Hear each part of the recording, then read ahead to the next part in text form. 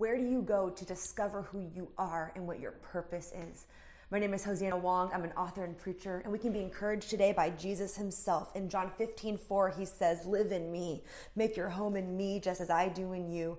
In the same way that a branch can't bear grapes by itself, but only by being joined to the vine, you can't bear fruit unless you're joined with me. And I can think of many times in my life where I was not living a fruitful life or a life producing good things. I found my identity in all of the wrong things, and I did not know the best way to live.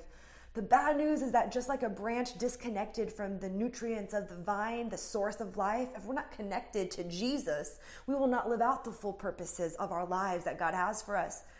The good news is that we can choose today. I'm not going to the opinions of people. I'm not going to my old addictions. I'm going to invite Jesus into my life and my situation and connect to Him, be in His Word, talk to Him, learn His ways. Then we will discover our real purpose and our true identity that comes from Christ alone.